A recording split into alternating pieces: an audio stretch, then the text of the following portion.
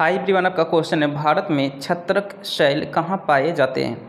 Option number A है पूर्वी घाट, option number B है पश्चिमी घाट, ऑप्शन नंबर सी है थार मरुस्थल, ऑप्शन नंबर डी है सतपुड़ा पर्वतमाला। तो हमारे इस क्वेश्चन का option number C correct answer हो जाएगा, थार मरुस्थल। So thank you like share subscribe